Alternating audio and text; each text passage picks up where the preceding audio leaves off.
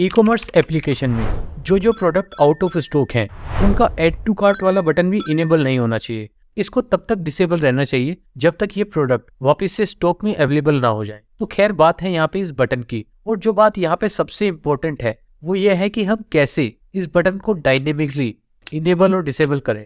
तो इसका सॉल्यूशन है प्रॉपर्टी बाइंडिंग और आज इस वीडियो में हम वही सीखेंगे। तो इस वीडियो का एक भी पार्ट मिस किए बिना इस वीडियो को एंड तक देखना ना भूलें। और अभी इस वीडियो को लाइक कर देना और अगर आप पहली बार चैनल पे आए हैं तो सब्सक्राइब करना ना भूलें। सो मेरा नाम है अनूप और आप देख रहे हैं यूएक्स ट्रेंड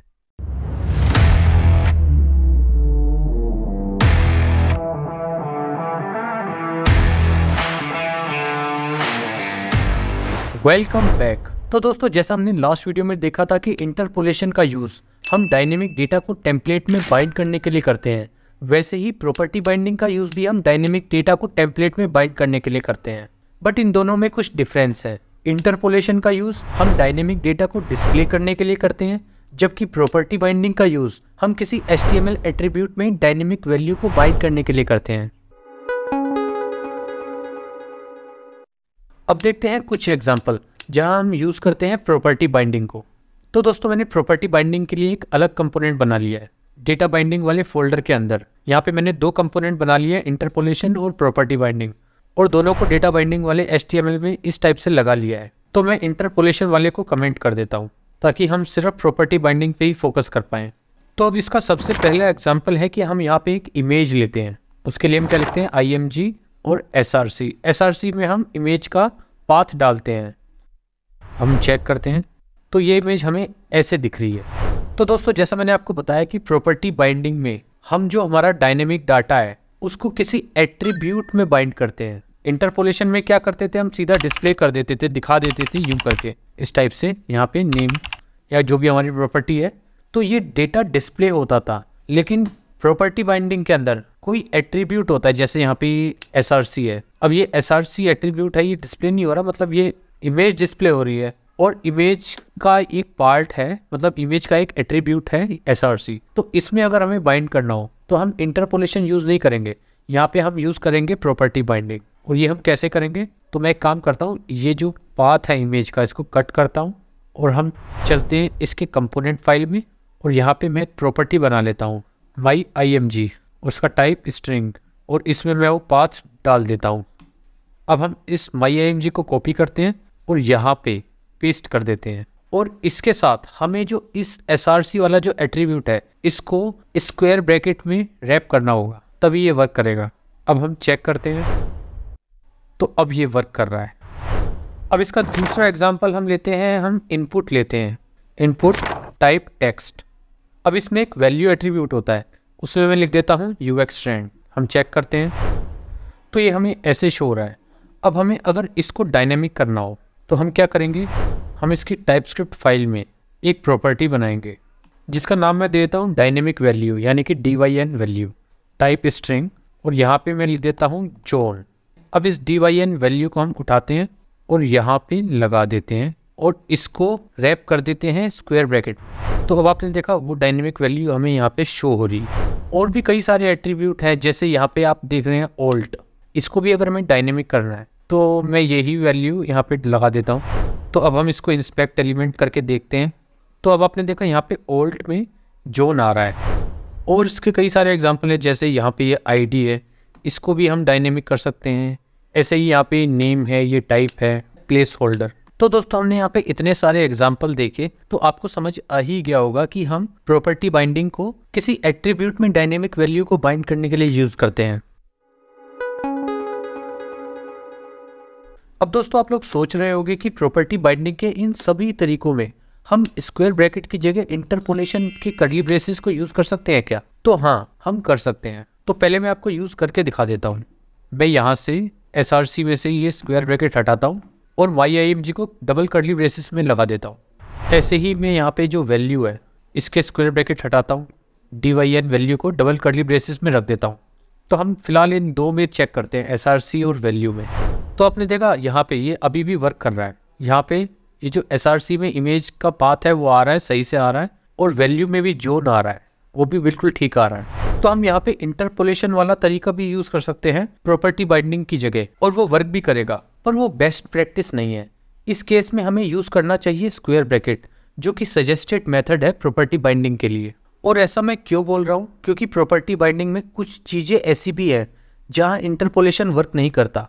हमें प्रॉपर्टी बाइंडिंग के स्क्वायर ब्रैकेट ही यूज़ करने पड़ते हैं। फॉर एग्ज़ाम्पल डिसेबल्ड हिडन और चेक्ड ये जो तीन एट्रीब्यूट है, इसमें इंटरपोलेशन वर्क नहीं करता। आप कैसे भी इनको यूज़ करके देख लो इंटरपोलेशन इसमें वर्क करेगा ही नहीं। तो यहाँ पे आपको प्रॉपर्टी बाइंडिंग ही यूज़ करनी पड़ेगी। स्क्वायर ब्रैकेट की हेल्प से ही इनको आप अचीव कर पाओगे।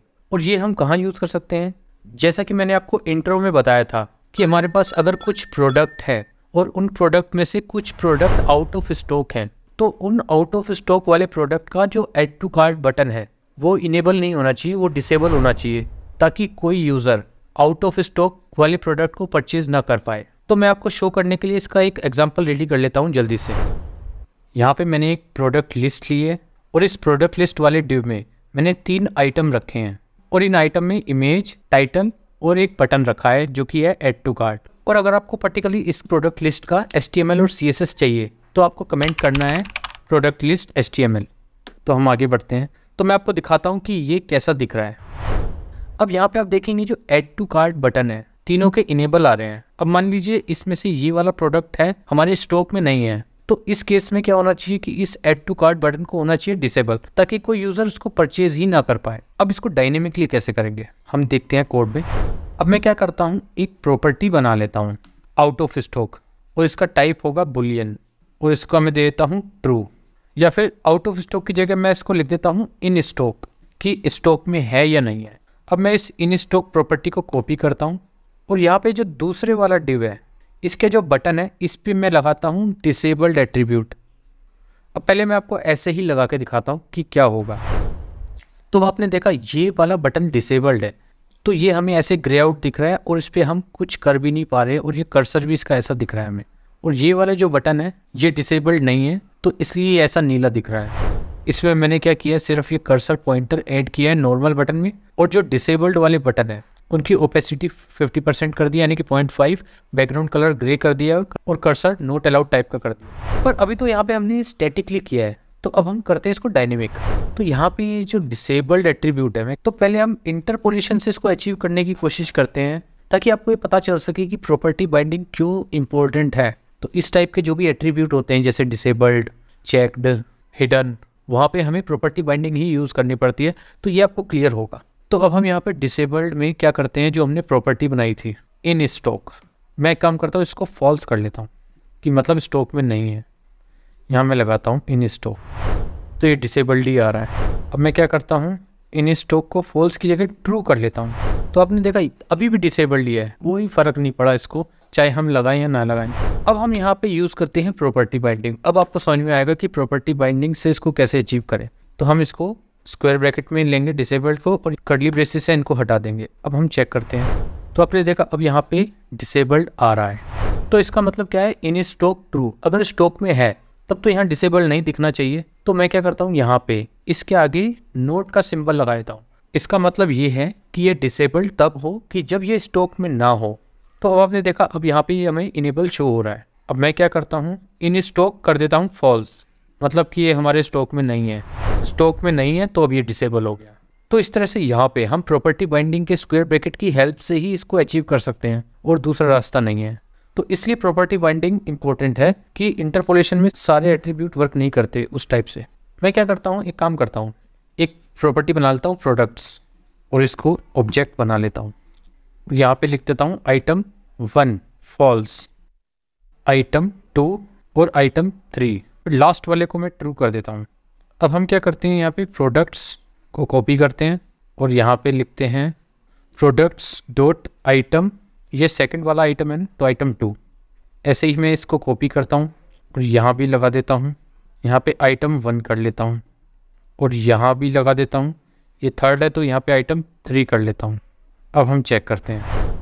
तो अब आपने देखा यहाँ पे ये डायनेमिकली ये गेट कर रहा है कि कौन सा प्रोडक्ट इन स्टॉक है। तो उसी को यहाँ पे एड टू कार्ट इनेबल दिखा रहा है। मैं क्या करता हूँ, इस प्रोडक्ट वाली प्रॉपर्टी में, ये लास्ट वाले में से ट्रू हटा देता हूँ, यहाँ लिख देता हूँ फॉल्स और ऊपर लिख देता हूँ ट्रू यानी कि पहले वाले को ट्रू कर देता हूँ। अब हम चेक कर तो पहले वाला अब इन स्टॉक शो हो रहा है। ऐसे ही दूसरे को भी ट्रू कर देते हैं। तो अब ये दो आइटम स्टॉक में शो हो रहे हैं। तो ये एक बहुत अच्छा एग्ज़ाम्पल है डिसेबल्ड एट्रीब्यूट के यूज़ केस को समझने का। तो आई होप आपको समझ में आ गया होगा। अब ऐसे ही ये दो एट्रीब्यूट और है हिडन और चेक्ड अब मैं चाहता हूँ कि जो वॉच वाला जो पूरा डिव है, इसी को हिडन करना चाहता हूँ। तो मैं यहाँ लिखूँगा हिडन तो यहाँ पे भी हमें स्क्वायर ब्रैकेट यूज़ करने पड़ेंगे और यहाँ पे अपनी प्रॉपर्टी मैं एक प्रॉपर्टी बना लेता हूँ हिडन आइटम और इसको, इसकी टाइपस्क्रिप्ट फ़ाइल में बना भी लेता हूँ. फॉल्स है तो शो हो रहा है. मैं ट्रू कर देता हूँ. तो ट्रू कर दिया तो अब वो हाइड हो गया. तो इस टाइप से ये तीन एट्रीब्यूट है. इनमें आपको प्रॉपर्टी बाइंडिंग का यूज़ समझ में आता है. और ये जो चेक्ड वाला एट्रीब्यूट है, इसको आप अपने से प्रैक्टिस करके चेक कर सकते हैं. और ये आप कहाँ यूज़ करेंगे? जो इनपुट टाइप चेकबॉक्स होता है, उसमें। अब दोस्तों प्रॉपर्टी बाइंडिंग में एक चीज़ और है, जिसे एट्रीब्यूट बाइंडिंग कहते हैं। इसका सिंटेक्स है, हमें स्क्वायर ब्रैकेट लगाना है और लिखना है ए टी टी आर उसके बाद हमें डॉट लगाना है और उसके बाद एट्रीब्यूट नेम और यहाँ पे अपनी प्रॉपर्टी तो ये इसका सिंटेक्स है। अब एट्रीब्यूट बाइंडिंग वाला सिंटेक्स हम कहाँ यूज़ करते हैं?